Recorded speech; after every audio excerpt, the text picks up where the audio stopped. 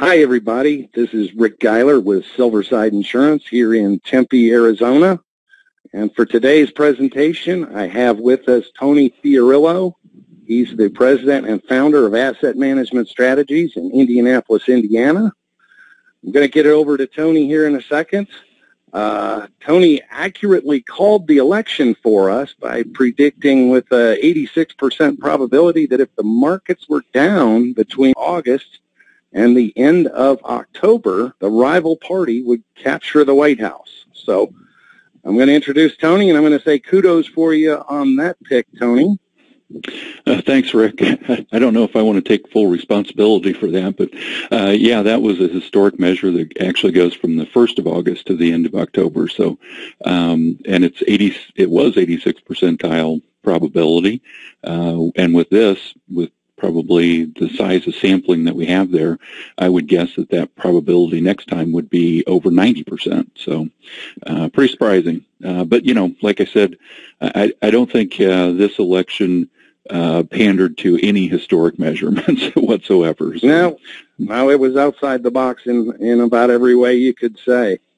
Well, I'm going to get it over to you today. Uh, Tony has some stuff for us on some of the election uh, fallout uh, what that's doing with what we see in the interest rate market. Hopefully some more market predictions since Tony has now proven he's a great prognosticator. And then he's going to touch on some of the regulations we may or may not see with the new administration. So with that, Tony, I'm going to get it over to you. And uh, the pressure's on to uh, outdo yourself from last time. I appreciate that, Rick. Yeah, I think everybody's still shocked from these election results. I, I, I don't know which election you're talking about. I was talking about the fact that Dwayne the Rock Johnson beat me out for sexiest man alive again. Was that the election you were talking about? Probably more uh, the presidential election. I'm guessing is the concern for most people. But the um, yeah, quite a shocker. And I think that uh, it was the general sentiment was uh, I don't think it was so much necessarily against Hillary and for Trump as much as it was uh, just a pure anti-establishment establishment vote. You know, we saw that throughout the uh, Democratic primary, where there were many states where Hillary was neck and neck with uh, Bernie Sanders, and I think that we saw that uh, in the Republican primary as Trump, you know, one by one knocked off 15 or 16 other contenders in that race, and most of those were more establishment type people. Surprising, I, I think if you if you had ever expected the libertarians or the independents to to show better, uh, this would have certainly been the year. But I think what happened was that Trump got more of that independent uh, vote. And I think pretty much everybody that was an anti-establishment, even on the Democratic side, uh, were not necessarily favoring Hillary and wanted something different than the than the status quo, uh, and that's how it ended up. So we'll see what happens. I think there's uh, probably three things that uh, will make a huge difference in the markets as far as Trump's presidency goes. I think right now the, the three things that I'm looking at are uh, his stances on uh, three topics. One is protectionism. And he's made some, some bold statements about trade agreements and uh, how he's going to toughen up on those. You know, uh, we forget in all of that rhetoric that Buick, for example, sells more cars in China than they do in the United States. So that protectionism uh, rubs both ways. And as much as we want to protect and, and foster, uh, especially manufacturing jobs in the United States, there is a, a, delicate global balance, and it's a it's a touchy situation. You know, we've created so many jobs in China and India that now these people have money for the first time, and because they have money for the first time, they want to buy goods and services uh, from all over the world. And I think that we have to have the confidence that we'll be able to deliver some of those goods and services to those people who are now uh, consumers for the first time ever. Remember, our economy here in the U.S. is driven 70% on consumption. So we push our GDP further if we're buying, if we're spending. And I know that's not necessarily a, a, healthy argument, especially for people that are facing retirement and looking at savings and, and putting money away, but that's the reality. Uh, we are a consumption-driven economy. And if these other countries who are for the first time getting paychecks instead of uh, literally bags of rice for payment want to buy things, then we need to be in a place that we can deliver those goods and services, not uh, build walls and, and protect ourselves from that trade. That's my opinion. It's a it's a painful transition, but you know, remember uh, a uh, hundred years ago in this country, ninety percent of the population was employed by agriculture, and as we built these tractors that would do the work of twenty men, nineteen of those men were out of jobs. And what did they do? They came into town, they went to work in the factory, and uh, that started the Industrial Revolution. It was a very painful, uh, very uh, dramatic adjustment to those people uh, who had to give up an entire culture of the way that they worked in order to transition into the Industrial Revolution. Now, uh, you know, 100 years later, uh, we act like we don't have any other choices, that there are no other options. And I think there are. I think that the United States will become the entrepreneurs to the world. So, you know, this is too short a time period to do a full lecture on on the economics of uh, global uh, trade, and and I think that Trump can certainly do some things to make some of our trade agreements uh, more favorable to us, and I hope that he does that. Uh, but I'm not a fan of just out and out total protectionism where uh, we don't uh, we cut off that trade with other countries and, and uh, limit our exports in that way. Uh, the other thing I think uh, will be a very big telling point are taxes. he's vowed to lower the corporate tax rate. we have the highest Uh, corporate tax rate of any industrialized country. So we're the we're the, what is the antithesis of a tax haven. And that's why you see so many of these companies figuring out ways to move as much to their sales overseas and keep those sales overseas so that they're taxed overseas legally uh, through tax treaties that we have with those other countries. Uh, they're not breaking the rules, they're just taking advantage of, of the rules so that they can stay competitive. Every dollar that they lose to taxes is a dollar less that they can reinvest in infrastructure and jobs and growth. So the more that we give these companies more of their own money uh, to build and grow or to pay out in dividends uh, to the shareholders, uh, it's a better filter than paying it to the government, letting the government run it through their system to reinvest it in infrastructure and so forth. It's just not nearly as efficient. It hasn't proved to be in, in almost every category. So if he would lower the corporate tax rate to 15%, it significantly eliminates uh, the reason for those companies to play games and to look for those loopholes and take advantage of different strategies. Um, and that should keep a lot more of those dollars here working in the United States. Mm-hmm. The other thing that he's talked about doing is putting a 10% tax on these repatriated dollars. These corporations have a lot of money. They sell, you know, a lot of products. General Electric, Coca-Cola, for example, uh, now sell the majority of their products outside the United States than they do inside. So, you know, if they have the ability to tax those at a 12% rate in Ireland or 12.5% rate in Switzerland, then they certainly need to do that to reduce their overall tax liabilities. If we eliminate that penalty with our corporate tax rate, then I think a lot of those dollars will come back, especially if it's a, a 10% flat rate to get those dollars repatriated back in the United States. Uh, the estimates are that they're somewhere around $3 trillion. Other thoughts are that the number is significantly higher, uh, that that's just the amount that the government knows about. Uh, and my guess is that that's probably true, that the number is probably north of 3 trillion, maybe significantly north of 3 trillion. And if the majority or even part of that money comes back in the United States, I think that could be a huge windfall to our economic growth here. And the last thing I think that is a key factor, uh, and this is one that especially pertains to our industry, is the reduced regulation. Uh, you know, one of the first things that came out of his uh, his presidential win was a commentary about the DOL rule, and that the DOL rule will probably be tabled postponed or uh, or changed. And I think that would certainly be uh, a positive for our industry, even though somewhat contradictory that uh, we would not be in favor of the fiduciary rule. Um, at uh, at the surface, I'm totally for the fiduciary rule. We've always been um, been governed by the fiduciary rule as a registered investment advisory firm, and we love the idea that everybody would be held to the same level playing field, especially the broker-dealer community. So, you know, the details were where the problems came up. And the details were in the implementation and the enforcement of that rule. And I think that uh, it, it proved itself to be a complete quagmire of regulation and issues and, and cost.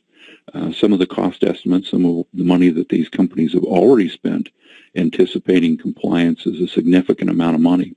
And where does that money go? It really doesn't go into creating new jobs or creating, um, you know, uh, growth to the GDP. So uh, just an expense and uh, not necessary. So if he can continue to do that with our industry and the DOL rule, and he does that with other industries where we break down some of these uh, regulations, one of which is the um, the healthcare system. If these employers are required to pay for these to put in, uh, you know, uh, healthcare programs, there's a cost to that. That means there's less dollars to be spent on research and development, expansion, new jobs, and raises. So I think those are the three key factors. You know, let's look at protectionism, let's look at what he does with taxes, and let's look at what he does with uh, hopefully reduced regulations. I think that will really pave the way for what could be uh, a pretty explosive possibility to growth in this country. And I think what we've seen from literally the middle of the night after the election, the dramatic turnaround in the stock market, where the market was down, the Dow was down over 900 points at one point, uh, and turned up to be significantly positive by the end of the very first trading day. Huge, huge turnaround. I think top to bottom, it was uh, over 1,100 points on the Dow in that one day. And so the the election rally uh, has held at least to this point, uh, and I think that what's uh, what's driving that, or people are looking at what this new world will look like, and do we have the ability for these companies to continue to grow earnings and and expand? And if uh, if we can do that with less regulation and lower corporate taxes, I think that would be uh, significantly positive for uh, the stock market. So a couple things. One, uh, uh, you know, we we got it right about the election, but we got it completely wrong on interest rates. Uh, this chart that I have up here is showing the 10-year Treasury, and in the last uh, couple months since this drop in June, this was during the British exit, where the yield on the 10-year Treasury dropped down. It closed at 1.4% yield on the 10-year Treasury. Since that time, it's come up dramatically, and you can see just from the 1st of November how these interest rates have just completely spiked. And now we're at a, about a 232 yield on the 10-year Treasury. That's a 65% increase in the interest rate in just this couple months. Now, to increase that interest rate, you have to drive the value of those bonds down. So as those interest rates have increased, the value of the underlying bonds have, have gone down. So you've seen, um, you know, pretty dramatic drop in value uh, in the bond prices. So that yield is now up there. I, I think this is just an unbelievable number. Uh, if you look at where we've been, this is a one-year chart. Uh, we're back up to where we were, you know, last December uh, when the Fed last made a move and raised interest rates. So at this point a year ago, we were roughly at about the same yield here where we are now, where the um, we were just over uh, uh, 225, I think, back in uh, December 12 months ago. So since that time, actual interest rates came down, even though the Fed raised interest rates. We had this, you know, short-term drop here during the British exit. Um, cooler heads prevailed. Markets got back to normal, and they were fairly well behaved until we just had this spike since the election. And I think that, you know, what that does is it shows how much uh, people were were um, uh, concerned about the election, and, and, maybe this is just a, a, relief, you know, that the that the election is over, uh, regardless of who won. Uh, hard to tell. Who knows? But um, you know, it'd be interesting to see. Now there's speculation that uh, the Fed may not raise interest rates um, in December this year, um, which I'm not sure that that's justified for the Fed to raise interest rates. We don't have uh, very high inflation. We don't have runaway growth that they should be slowing down, and those are usually the two rationales that the Fed has for raising interest rates. So, you know, I think this is an interesting chart. Um, another chart that I, I, find fascinating is this one. Um, and this shows the, if we look at this top graph here, it shows the net uh, money flows into mutual funds. And the dark bar here is the U.S. stock market. And you can see back here in the late 90s where we had five consecutive years where the S&P increased over 20% for those five years. Of course, everybody was chasing those investments. So when those markets were doing very well, when those markets were very high, you had a lot of people putting a lot of money into the stock market, which is really not the right time to do it. They should have been buying back here when it was lower and then gotten those appreciations. And then, of course, in 2000, the market dropped. Uh, in 2002, the market, or 2001, the market was down, and in 2002, the market was down as well. We had a rebound here in 2003, and you started to see people buying back in. But then after this uh, collapse in 2008, where we had a huge sell-off in uh, holdings in 2008 as the financial crisis credit default swap uh, meltdown started to happen, since that point, in these last seven years, we have had one year out of seven that has had a positive inflow to equity mutual funds. That, that's just an incredible number. That that tells me that the American people have just lost faith in the in the American stock market. And I think that if you look at a seven-year time period like this, where six out of seven of these years people were pulling money out of these uh, out of the equity markets instead of putting money in. That's just unbelievable. I mean, you can imagine how many 401k plans there are that people are driving money into those plans, you know, pay period by pay period by pay period, but they're not going into the stock market. And I think that is probably a reason why uh, the stock market has not performed as well as it could have, although our earnings, price to earnings ratios are still uh, pretty much in line with where they've been historically, maybe even a little bit on the high side. But we have ha- had significantly higher PE ratios in the past, which we did back here in the late 90s. And that's not necessarily healthy. Uh, usually at that point, when you get up close to 20 on a PE ratio, then you've got a little bit of a sell-off, and we did. So historically, we've been at about 15 to 16 on the PE ratio of the S&P 500 companies. But in the last roughly a little over a year, we've seen very, very little growth in the stock market at all. And in this time period, as this, as large stocks here uh, have not grown very much at all, the S&P 500 components, the the 500 biggest companies in this country, uh, have continued to book higher and higher earnings. So that valuation is not reflected here in this uh, in this jump in the in the uh, stock market. So hard to say. You know, I, I think that what we need is we need companies to grow more. We need higher GDP growth. Uh, if we have that higher GDP growth, then we're going to get higher earnings out of the S&P 500. If we get that, then it's justified to have a higher valuation in the stock market. And I think all of that could be accomplished by lower regulations. And I think that's a significant factor that's been holding back American businesses. American businesses have been growing despite the help uh, that they've had from the government, uh, which is in more cases building roadblocks rather than paving the road ahead of them. So hopefully, you know, it looks like the rhetoric out of this um, new administration is that they are going to be pro-business, and I think the market has certainly reflected that up to this point. So that's my um, my recap of what's happened and, and what I think is going to happen. Okay.